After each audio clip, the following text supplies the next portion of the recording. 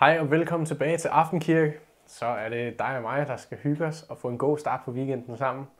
Vi er jo kommet et godt stykke ind i øh, oktober, og øh, det begynder at være en del koldere udenfor, og man kan i hvert fald ikke længere se solen så meget, som man har kunnet i sommermånederne.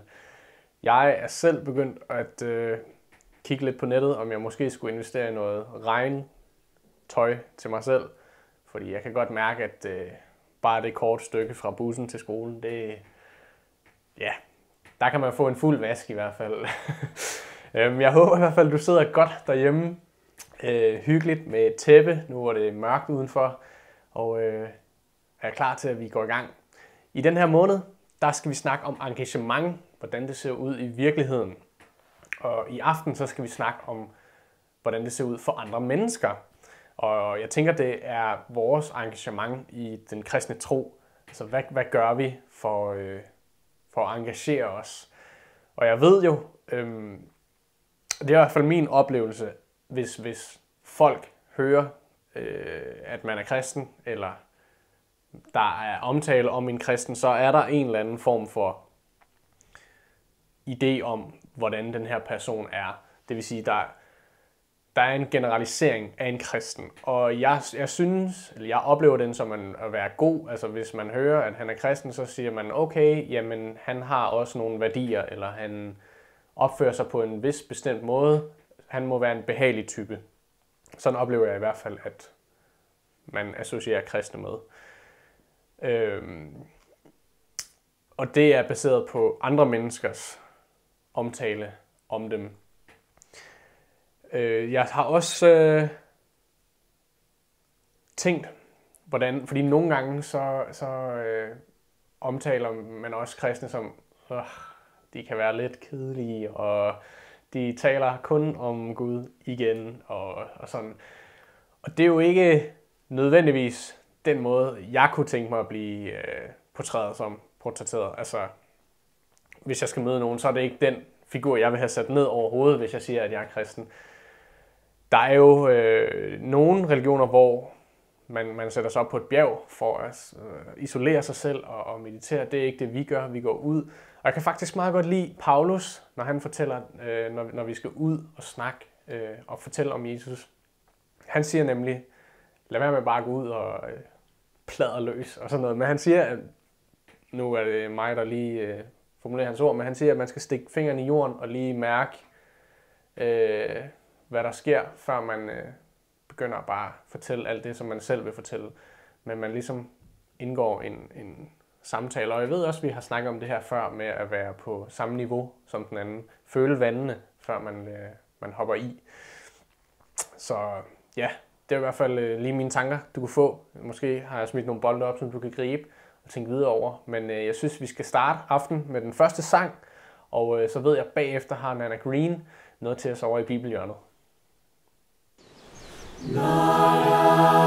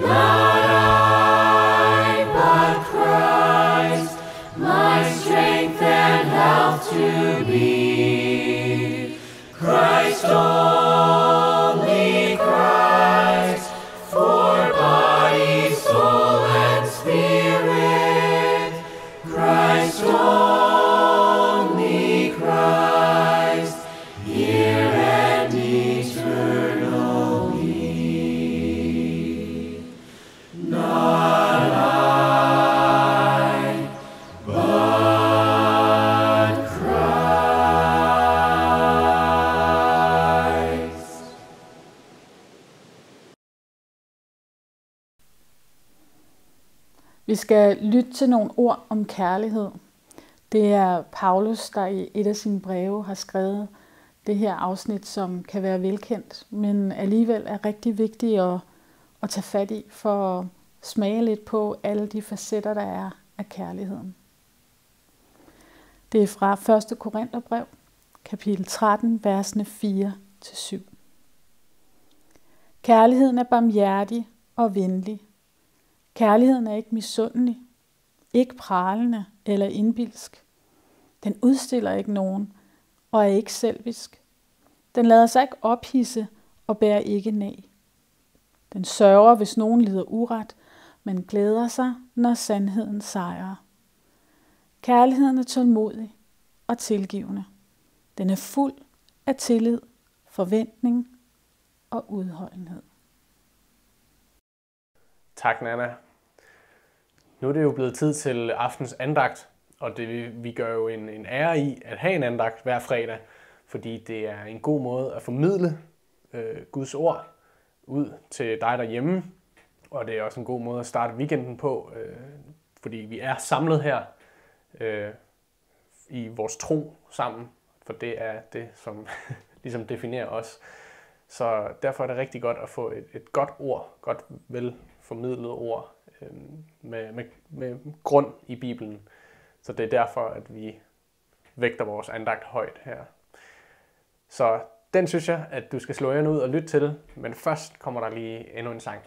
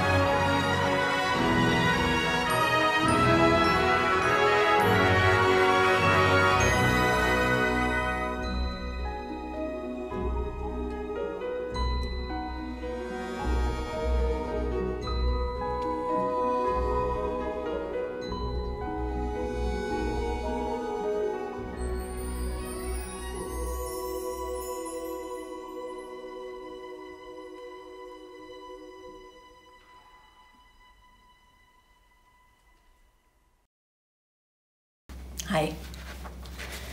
Vi skal snakke om arrangement. Lige nu bare lige et par minutter. Hvordan ser det ud i virkeligheden? Sådan for andre mennesker. Jeg hørte, at jeg har ladt mig fortælle, at verden kan blive delt op i tre grupper. Dem, der får ting til at ske. Dem, der ser på, at ting sker. Og så dem, der undrer, hvad der skete. Det er meget sjovt. For det er jo sådan, at ja, der er virkelig mennesker, som virkelig får ting til at ske. De er ivrige, de er villige til at tage ansvar, de skaber, de får ting til at ske. De er meget engagerede. Og så er der nogle andre, som er mere tilskuere. Men egentlig er det jo også et arrangement. De har valgt at komme og være med.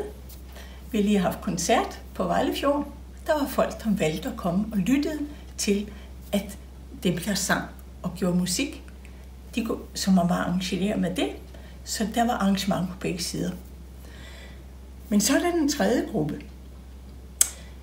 Den gruppe har vi måske ikke så meget lyst til at blive placeret i.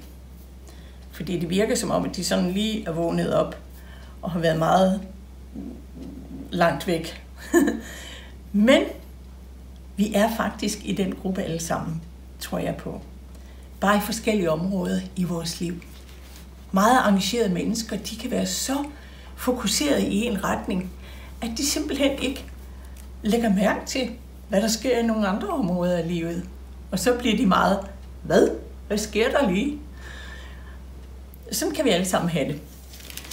Så nu når vi kigger ind i Bibelen her, Matthæus 25, og omkring vers 34, faktisk, og begynder det lidt før i vers 31, der taler Jesus til en gruppe. Han snakker om, at han vil dele verden op i to grupper, når han kommer igen. Han kalder dem forne og gederne. Han siger til den ene gruppe, forne på sin højre side, kom i min fars velsignede, til det rige besiddelse, som står klar til jer fra verdens ende, eller fra verdens begyndelse. I gav mig jo noget at spise, da jeg var sulten, og noget at drikke, da jeg var tørstig. I bød mig velkommen, da jeg stod som en fremmed og skaffede mig tøj, da jeg ingenting havde at tage på. Og I så mig og så til mig, da jeg var syg, og I besøgte mig i fængsel. Og tænk, den gruppe, han snakker til, de bliver lige så paffe som den her tredje gruppe. Hvad sker der? De fatter ingenting. Så de siger, herre, vi har da aldrig set dig sulten og give dig noget at spise, eller tørstig og give dig noget at drikke, og alt det der, og nævner de alle de der ting. Vi, vi fatter ingenting. Og så siger Jesus til dem, jeg siger jer, hvad I har gjort imod selv den mest oversete af dem, som er mine børn. Det har jeg gjort imod mig. Jesus identificerer mig sig med de allermindste. Så det, de har gjort imod de allermindste, det har de gjort mod Jesus. Så snakker han til den anden gruppe, og han siger til dem, gå bort fra mig. Fordi dengang, at jeg havde behov for noget, mad, vand, klæder, det at blive budt velkommen, det at blive besøgt, når man er alene, det gjorde I ikke. Og der er de meget forbavset. De siger, hvad i alverden? Hvad sker der? Og så siger de til ham, Herre, vi har da aldrig set dig sulten, eller tørstig og fremmed, eller uden tøj, syg eller i fængsel, så vi kunne have hjulpet dig. Så siger han, havde I ikke, hvad I ikke har gjort mod selv den mest oversete af dette menneske, det har I heller ikke gjort imod mig. Det er en interessant historie, Jesus kommer med der. Det er noget med at, at gøre med at se. Kan du se behov omkring dig? Har du øje for det? spørger han også. Det der med, at den første gruppe havde set noget behov, og så er de engageret sig i det. Den anden gruppe, jeg ved ikke rigtigt om, det, det lyder som om, at de faktisk ikke så noget. De så ikke noget behov. Hvis de havde set det, ja, så har de i hvert fald ikke arrangeret sig med det. Jesus han giver os to bud. Han siger, hvis du elsker mig, så hold mine bud. Og jeg har ofte tænkt, i der er så mange bud, jeg skal holde, og det formår jeg aldrig. Men han giver os bare to bud. Og det ene bud, det er, elsk din Gud. Elsk min far, siger Jesus. Vend dig mod ham. Og så siger han, og så elsk det næste som dig selv. I det, der er hele loven. Det er det, Guds himmerige drejer sig om. Så det drejer sig om sindelag. Det drejer sig om valg. Det drejer sig om at være villig. Det drejer sig ikke så meget om din profession, eller dine evner, eller din personlighed, eller interesse endda. Det drejer sig om, er du villig? Hvis du ser et behov, hvis du ser, at der er nogen, der er ensomme, gør du noget ved det. Hvis du ser, at der er en, som, som har brug for noget, er du villig til at give noget af din tid. Det er det, Jesus beder om. Det er det, han altid gjorde selv. Han vandrede på denne jord og gav af sig selv og sin tid hele tiden. Jeg tror, at det er det, vi kan bede Jesus om hver morgen, når vi står op. Kære Gud, hjælp mig til at se. Hjælp mig til at se de behov, der er omkring, og giv mig et villigt hjerte. Og når jeg så ikke synes at kunne finde ud af det, så prik på mig lige på skulderen, hvis der er noget, der er glået ind i min blinde vinkel. Jeg tror, det er det Gud han ønsker, at vores villighed, vores engagement. Og så tror jeg, at livet får mening på en helt ny måde. Lad os bede. Kære Jesus, hjælp os hver dag, hver morgen, og vågne op og være villig til at være dine hænder og dine fødder og din stemme. For der bliver vort liv godt selv, og andre menneskers liv bliver godt. Tak fordi at du vil og kan bruge os. Amen.